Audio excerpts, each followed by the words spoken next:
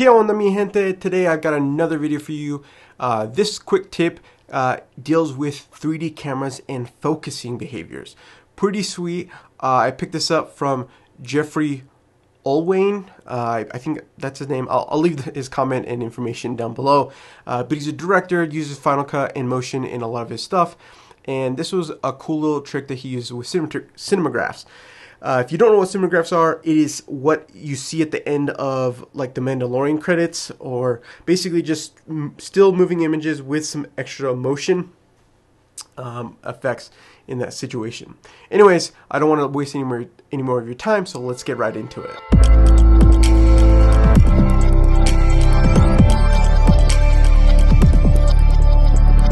Daniel here video resident here for Online Creator Studio.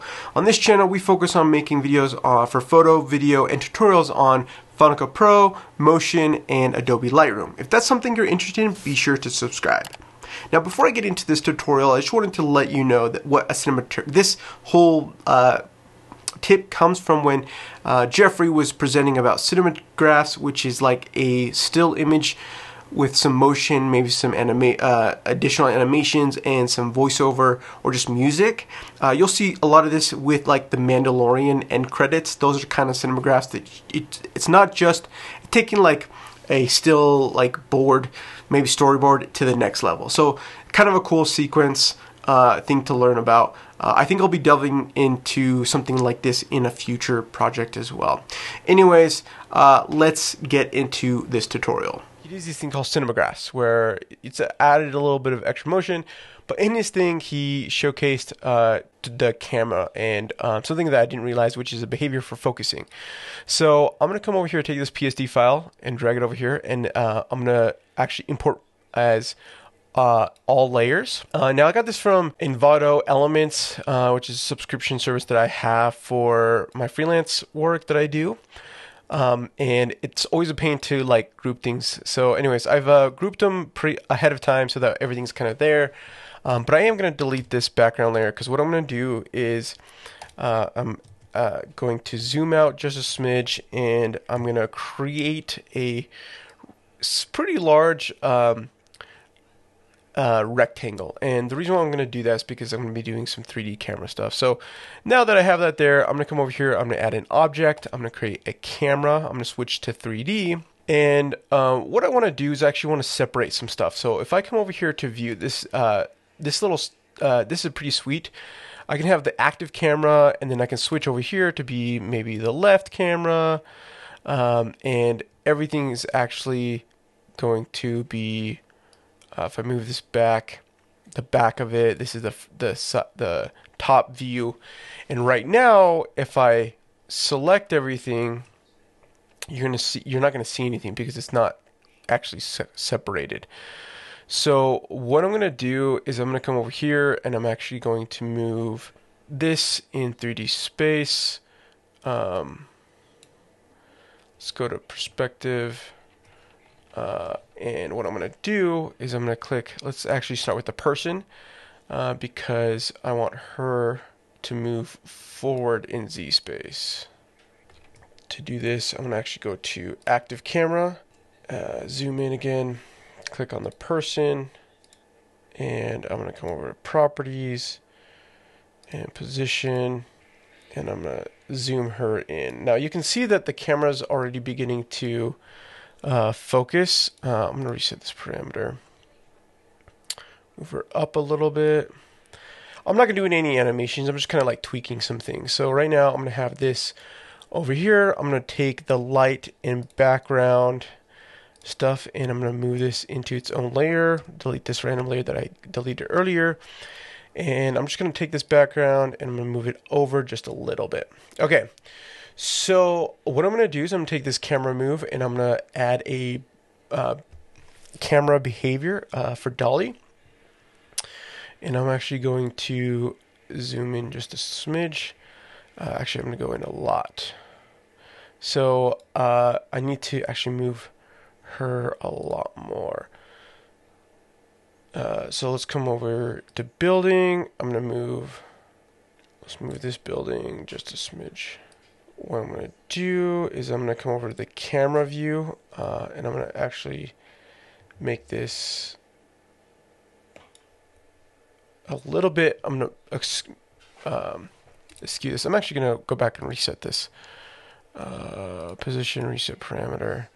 So it's in line. And because I don't want to do anything fancy right now, I'm going to create another video where we create a whole cinemagraph because I thought it was really cool. So I'm going to come in this dolly parameter. I'm going to zoom in. Let's go here. Let's actually change the camera focal length to an let's do an 85 angle of view and we'll go back to the dolly and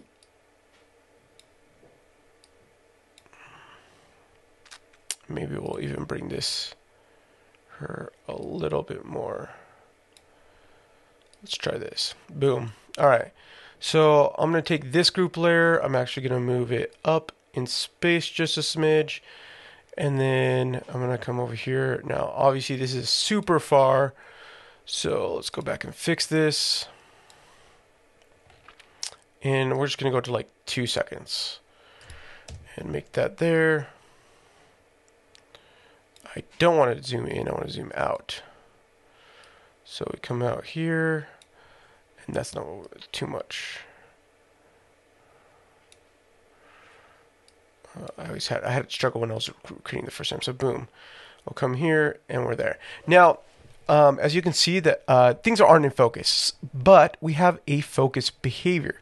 So I'm gonna go here to focus, and I'm gonna in out in here. And what I want to do is I all you have to do is drag the object that you want to bring into focus. So for this one, I just want to bring this sorry focus uh, this group layer in here.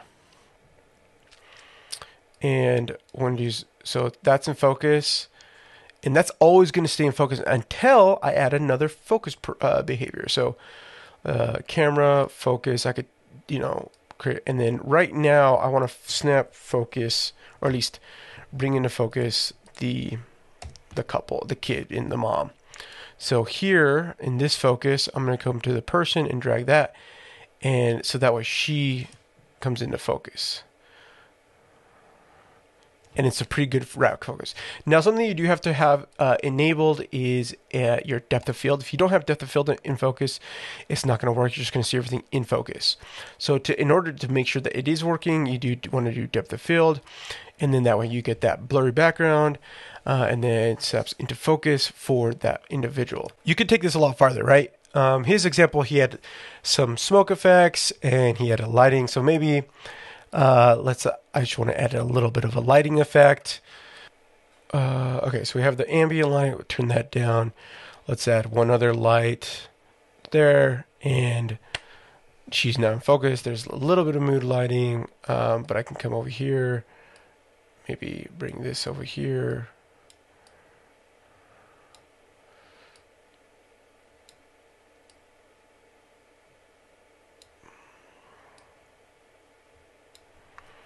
All right, let's do this. So we have this ambient lighting, which I want to bring up just a smidge.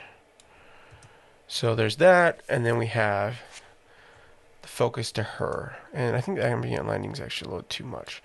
That way she's in focus, right? She's like the focus of this little narrative. Anyways, so that's pretty cool. Um, I liked this whole aspect of being able to change focus and what's cool is that with this, you could actually animate the transition. So let's say I want it to be pretty fast. So if I come over here, it would snap much faster than what the standard uh, there. And I could change it from to ease both. So it's a little bit smoother. Obviously that one snapped really fast. Let's go here. Pretty sweet that's it. That's all I have for you guys today. I hope you guys enjoyed this video. If you have any questions, please leave them in the comment section down below. Again, smash that like button if you liked it, and I'll see you guys in the next one. Adios.